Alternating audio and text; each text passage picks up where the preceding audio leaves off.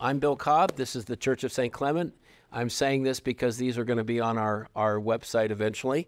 And um, we're in the history of revivals. And this is my next to the last class, at least as far as I know.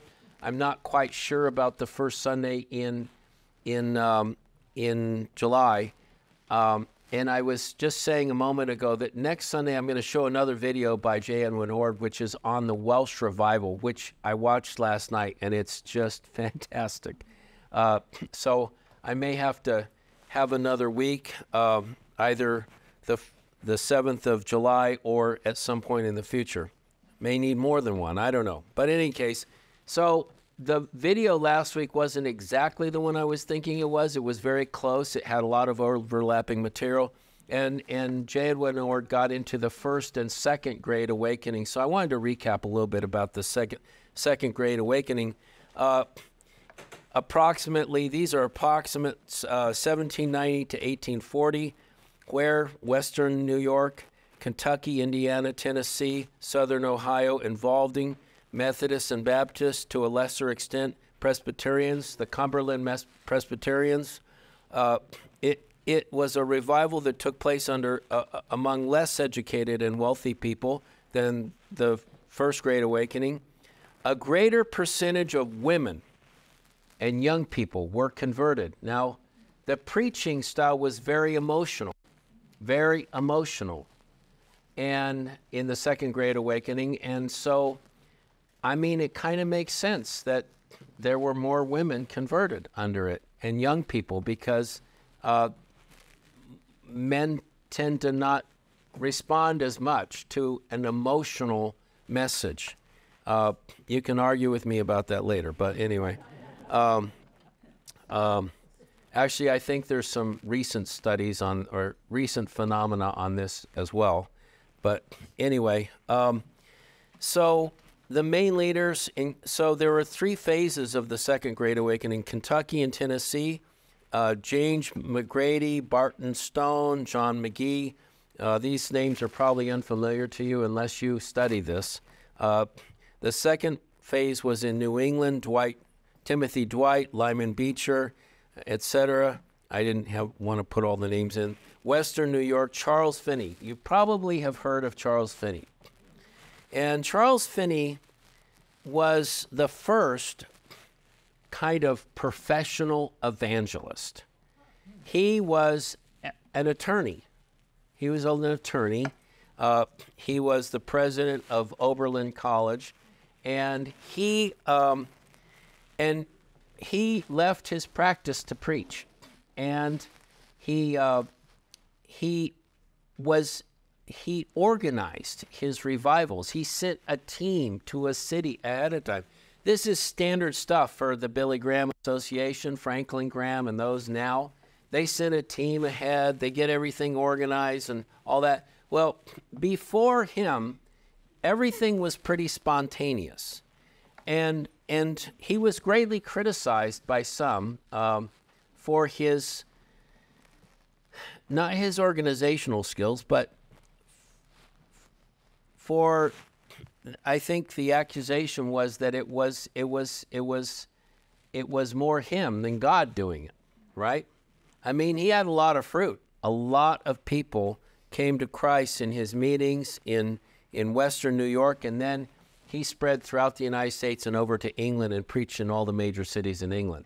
But um, and he and so Charles Finney was um, was uh, very effective but he uh, he spoke in a very common parlance. He wasn't he didn't have any highfalutin theological language, but um, and people responded to him. Um, anyway, the characteristics were of this revival were that people came to Christ during revival meetings. Again, very emotional appeals. Um, there was a shift from Calvinism to Arminian theology. Um, there were Methodist circuit riders. I was told that one of my great uncles was a Methodist circuit rider um, down in, I believe he was down in Louisiana. Uh, any case, these these guys would, were mostly lay preachers who went out as far as they could go and reached the, the you know the wild west of Kentucky and Tennessee, um, and and then further out on the frontier. Um, dozens of new denominations were created, including uh, numerous free black churches. So uh, formerly slaves, freed black churches. The the in the Second Great Awakening, they the the preachers would preach to anyone. You know, women, men, slaves, didn't matter. It was very egalitarian, very egalitarian, and uh, and so um, creation of religious movements, Adventism. Uh, was really big, and out of this, the Seventh Day Adventist Church came, uh, which has a unique set of beliefs. They believe in keeping the literal Sabbath, Saturday, uh, but it all uh, the Adventism was a movement that affected many denominations that focused on the second coming of Christ. And, um, and I believe they were post millennialists. The, the, the, the mood at the time was post millennialism. And what that meant was that they believed that God was going to usher in the thousand year reign of Christ, and then Christ would, would come. If I have that right, I may not have that right. I think that's right. Uh, but contrary to today, to thinking that Um, most evangelicals think things are going to go to hell in a handbasket before the Lord returns. Back then, the common belief among evangelical Protestants was that, that they were, the church was to usher in the kingdom of God through social programs that we are to improve the world and get it ready for Christ's second coming. That was the prevailing theology, popular theology of that time. And it's very different than, than today.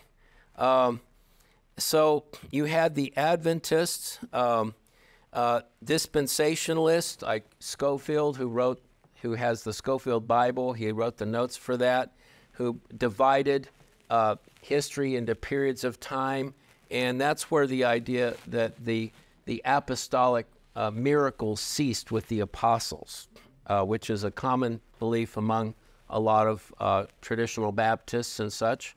Um, I mean, they believe in prayer, they believe in miracles, but they don't believe there are gifts of the Spirit that operate today.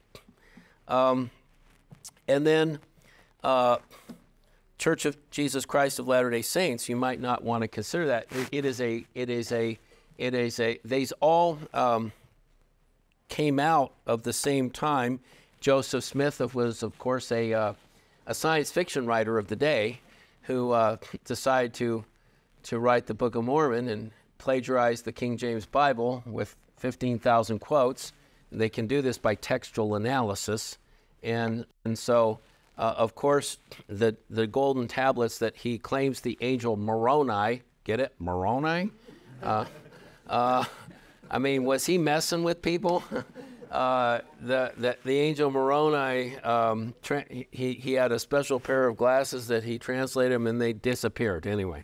Uh, so that was uh, what the Joseph Smith came on the scene and, and started the Church of Jesus Christ of Latter day Saints. Um, so all these things happened out of the, the Second Great Awakening. It resulted in, again, founding of colleges and seminaries and Bible societies, social movements in, involving, te- involve, involving temperance, leading to prohibition in, the 19, in 1920. Now, temperance was not only about alcohol, um, it was also about pornography and prostitution.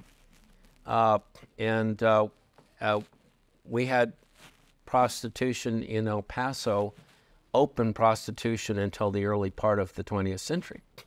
It was the men's group of St. Clement's Church that got the city council to pass a law against it. Did you know that? And uh, but that didn't exactly end it. They passed a law. They passed a rule.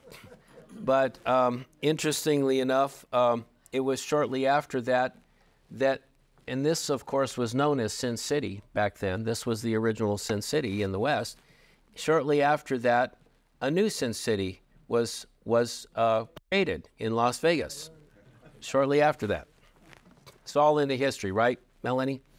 Yeah, it's all in our history. So, um, in any case, prohibition, uh, abolition, uh, of course, abolition. The abolitionist movement began before we were even a country. Back in, in, in, in the colonies, there were colonies that didn't have slaves and forbade them from the beginning, and and the, and so it took a long time to have a. It, it took the Civil War to completely uh, to completely uh, free the slaves, and they even then they weren't freed automatically. It it took time after that, but that was. Uh, that was the result. And then women's rights, suffrage, the suffrage movement. Um, so all these kind of came out, were in the late 1800s. Um, so the third great awakening I want to get into. Um, I wrote United States and Korea. Actually, it was in the United States, but there were similar movements in England and Korea at the time. I should have edited that. I, I meant to change that. So, uh, but there were very similar movements. Uh, this third great awakening, and not everyone agrees on the number of, of revivals. They might call this a wave of revival. They might say it's part of the second great awakening. Um, but this is just using this particular model. Um, it involved Protestant denominations, not so much as reaching lost as those in the pews who were in Protestant churches. Uh, again, it was post millennial. Um, it was the social gospel. The social gospel, which came out. So, in, in the First Great Awakening, you can see the seeds of the temperance movement, prohibition or abolition, um, and women's rights. In the Third Great Awakening, these things came to fruition because it was 1855 to 1930.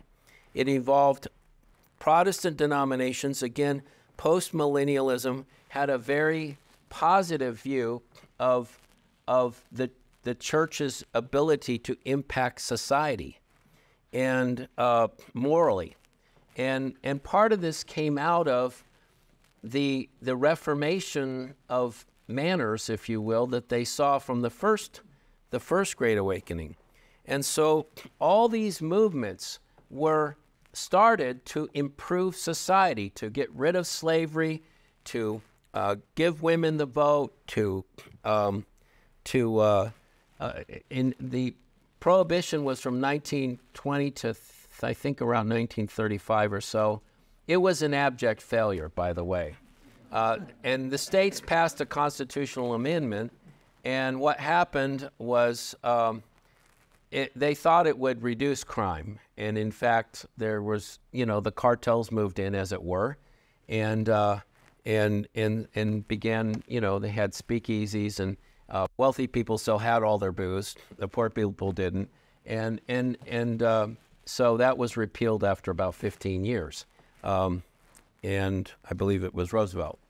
Uh, anyway, um, so but these social movements were all, all they all they they developed into what we now call the social gospel, which is the idea that Christianity can reform and affect our society through a movement of of uh, of preaching and teaching and and etc.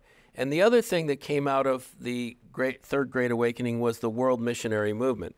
Uh, again, main leaders Dwight L. Moody, Ira Sankey, who wrote a lot of hymns, Bo- William Booth, Catherine Booth, who were the founder- founders of the Salvation Army, Charles Spurgeon, Billy Sunday, James Covey.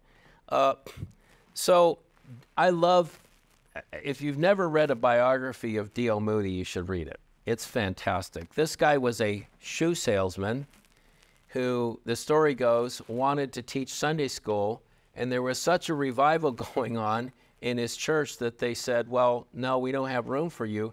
Go find some boys on the street and get them into a class, and if you can teach them for a while, we'll let you be a Sunday school teacher.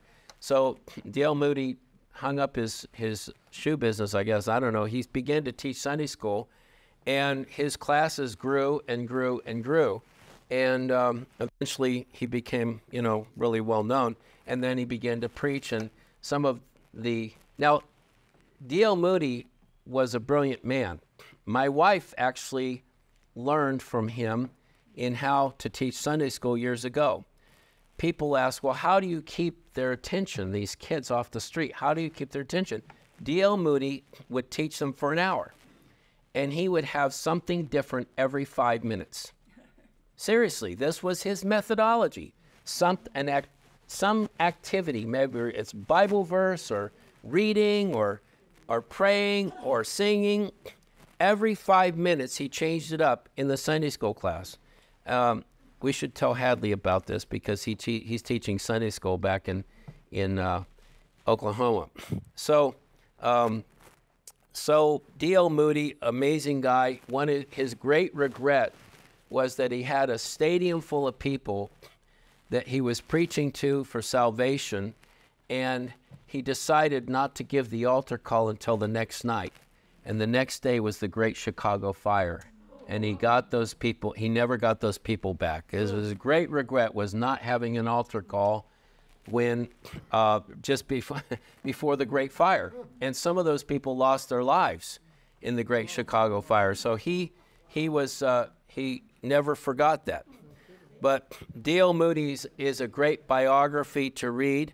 Um, William and Catherine Booth, they founded the Salvation Army, which uh, for many, many, many years was the largest provider of, of social services in this country besides the government. And I think they're still maybe the third largest organization providing social services. They were focused on the poor, the addicted. Um, they were they were part of the holiness movement. I, um, I didn't get in. I didn't mention the holiness movement. I, am going to. Uh, Charles Spurgeon, of course, um, was in the line of preachers uh, that probably the you could call him a modern day Puritan. Um, his sermons are still very inspiring um, to read. But Billy Sunday, my grandmother hated Billy Sunday. He came to her town, Corpus Christi. She moved there in the early 1900s. She was born in 1900. She moved to Corpus Christi from New York in the early 1900s. And when she was a young woman, she went to a Billy Sunday revival. And Billy Sunday was very brash, very brash, uh, to the point of insulting people. And apparently, he had this whole big room full of people, and a young lady walks in late and he says, Tell that young heifer to get out of here.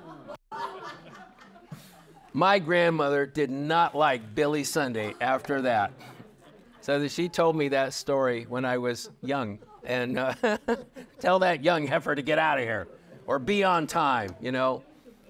So Billy Sunday was quite the dramatic preacher. Anyway, so um, the characteristics of the third great awakening, the holiness movement. The holiness movement was an offshoot originally of Methodism, and it resulted in new denominations like the Nazarene Church. The holiness movement taught that you receive salvation. It was based on, on, on, on John Wesley's teachings. You receive salvation, but then you need sanctification. Then you need sanctification. And it, he taught it as though that he, he believed that we can achieve full sanctification in this life. That you, and they define, he defined sin in a unique way. Sin is only conscious sin, which I don't think is biblical. You know, uh, I think you can find places in the scripture that talk about uh, about our our our motives, and um, I'm um, trying to think of a verse right now. Um, Keep me, O Lord, from secret sins. Anyway, and also high-handed sins, and all, anyway. So he he said um, they define sin as only conscious sin, And I actually had a prof once in a seminary, not in an Anglican seminary, at Fuller Seminary, who told me that he hadn't sinned in years. He said it with a straight face. And I'm like, okay, well, we have a different definition of sin because I can't make it through a day without sinning. Um, maybe not an hour. Uh, so I probably sinned since this class started. anyway, uh, but the, the holiness movement affected a lot of denominations. There were holiness Quakers, there were holiness Baptists, there were, they were, and they believed that you could achieve this. And, and interestingly enough, the Pentecostal movement kind of came out of originally out of the holiness movement. And I'm going to get into that. I can't get into Pentecostalism today. I am not going to have time. Uh, but Pentecostalism began in the late 1800s, and it began in different places around the world. It began in South Africa, it began in the Middle East, it began in America, all around the same time, which to me shows that it was a sovereign act of God. Um, so we also had such quasi Christian movements as the Jehovah's Witnesses, started by uh, Charles Taze Russell, uh, who was illiterate. He didn't know Greek or Hebrew. He was once sued by a, sued by a newspaper uh, for claiming that he could translate the, the Bible uh, that the Jehovah's Witnesses use and he, they put him on the stand and showed him some Greek letters, and he couldn't tell what they were. He did not know. He was a completely illiterate man, uh, as far as as far as uh, as far as the, the, the Greek and Hebrew language. So he tries he translates a Bible that's still used today by the Jehovah's Witnesses that changed key words uh, to to exclude the divinity of Christ and really, Charles Taze Russell resurrected a very ancient heresy called Arianism. Arianism was the reason that the Nicene Creed was created in 325 AD. AD. And Arianism says that Jesus Christ was the first creation of God, not part of the Trinity, not truly divine. Uh, and so they also have a lot of other beliefs like um, I forgot what it's called, but when you if you if you don't go to heaven, you are simply your life is simply extinguished. There's no hell. I forgot what that's called. Spiritualism, theosophy, uh, thelema. I don't even know what thelema is. Uh, uh, Christian Science. Christian Science is big in New England. It was founded in Boston uh, by Mary Baker Eddy who wrote uh, a guide to the scriptures. You know, let me ex- explain the scripture. Now, they she believed in healing and divine healing, but she wasn't an Orthodox Christian. She didn't believe in the Trinity or anything like that. Um, and there's a there is a, a big, big gigantic church in the middle of Boston that is the original church. If you've been there, I've seen it, and uh, we used to have a joke about um, uh, about uh, Christian Science, and that was they believed in the fatherhood of God, the na- uh, the the fatherhood of God, the brotherhood of man, and the neighborhood of Boston. anyway, but anyway, uh, some of these are occultic or quasi occultic uh, sects, if you will. Uh, and then again, through the another characteristic was the continuation of these social movements that began during the Second Great Awakening. And they resulted in, again, continued uh, founding of colleges and universities like the Moody Bible College, um, missionary societies like the China Inland Mission uh, that, was, um, that was pioneered by Hudson Taylor, who, if you have not read Hudson Taylor's, that you know, there are, in our library, we actually have shorter biographies of some of these people. You don't have to read a book this thick if you haven't read the story of the China Inland Mission, it is truly amazing and miraculous how God used this man to go to China and bring about massive numbers of people coming to Christ. The YMCA was a real Christian organization back then. As a matter of fact, it was based on the idea that young men needed to be muscular Christians. No wonder they're kind of failing today. Uh, they don't believe in, we don't believe in muscular Christianity anymore, do we, David? No, we don't. We don't believe in muscular, I mean, we believe in it, but those, our society doesn't believe in because my, my gosh, that would be like toxic masculine Christianity. Uh, so Musk, so the why, you know, uh, Oswald Chambers, if you know who he is, what an amazing writer. By the way, he never wrote anything. His wife wrote it all down. She trained to be a stenographer for the king. She was one of the best stenographers in all of England, and then she married him and threw it all away, except that Oswald never wrote anything down. So there she was, dutifully recording everything he said, and that's where you get Oswald Chambers' uh, devotional, uh, is that his wife wrote everything down. But he was an example, he was a YMCA chaplain. If only we had YMCA chaplains like that today, right? I mean, this guy was all about conversion to Christ and, and discipleship. Uh, anyway, um, and so uh, the women's Christian temperance movement, again, I've mentioned that wasn't just about alcohol, it was about pornography, it was about prostitution. Um, and um, Thomas John Barnardo's uh, founding of orphanages, I actually don't know anything about that. I haven't read it. I, it was in the article that I took this from, but I'm going to look it up. I've actually learned a lot of things. Now, one thing I'm going to say that's really uh, maybe seem very controversial there were revivals during the Civil War. I did not know that until I read this the other day. There were revivals more in the South than in the North, in the Union, more in the Confederate Army than in the Northern Union Army. Stonewall Jackson and Robert Lee, Robert E. Lee actually encouraged them. This may mess up your worldview. This may screw things up in your mind because you're thinking, well, they were fighting to keep slavery, but they had over 150,000 converts. Uh, they didn't pay the chaplains hardly anything, so the various denominations started printing tracts. One Bible, I think it was the Baptist, you know, of course, it was the Baptist. they alone printed 150 million tracts. And what do you think a soldier is going to do when he is in the trenches? He's out alone. There's no internet, there's no phones, there's no letters, and he's been given a tract. They also printed tons of New Testaments.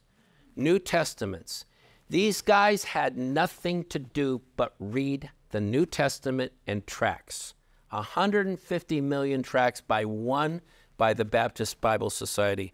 Um, and so there were great revivals. This revival was was based more not so much on large group meetings, but informal meetings with soldiers, uh, and some preaching, but also testimonies of, of converted lives, and then private Bible reading from the scriptures that they got. And again, in, in the Confederate Army alone, in like 1863 alone, 150,000 converted to Christ. I mean, that's amazing. So, um, so anyway, um, I've got it. I'm doing. I'm celebrating at the next service. so I, you know, I'm hoping that what we've been talking about here is going to spur your interest. I mean, for, go on the internet, just look up any of these subjects. Look up Second Great Awakening, First Great Awakening. Look up uh, Civil War revivals. Look these things up and and sit there. I find it so fascinating. I, to be honest, I, I, I woke up at 4 a.m. and I couldn't go back to sleep, so I went in the living room and I just started rereading some of these articles and clicking on new articles and stuff. And it's fascinating material uh, to learn about the histories of what God has done in this country through evangelism, through even the social movements. I mean, it's fascinating. Uh, so, Uh, I thought the social gospel actually started, you know, in the 1950s or 60s. No, it goes back further than that, a lot further. So, anyway, um, I've got to I've got to end this. So let's pray.